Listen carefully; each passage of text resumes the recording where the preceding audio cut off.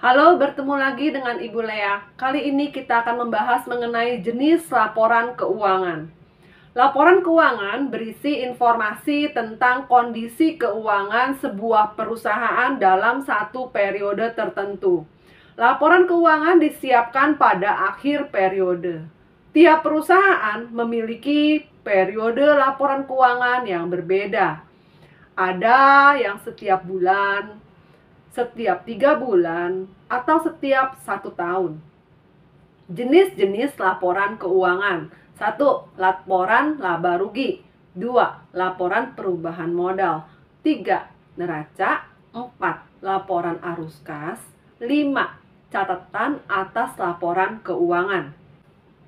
Laporan laba rugi Jenis laporan keuangan ini dibuat untuk dapat mengetahui pendapatan dan beban yang terjadi. Lalu, laporan perubahan modal.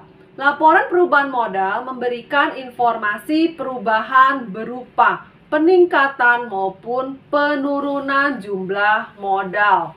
Saat perusahaan mengalami kerugian, maka modal akan berkurang pada saat perusahaan mengalami keuntungan, maka modal akan bertambah.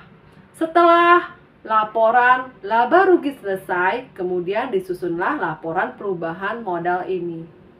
Neraca Neraca digunakan untuk mengetahui kondisi harta, utang, dan modal perusahaan.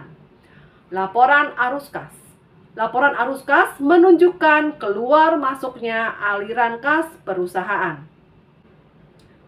Catatan atas laporan keuangan.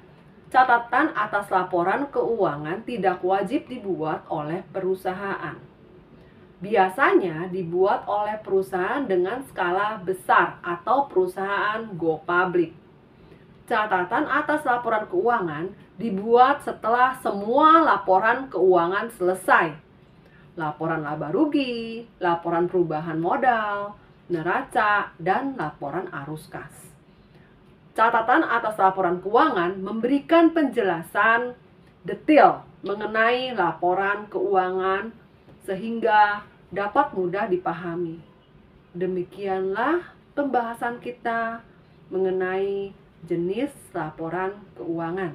Sampai jumpa.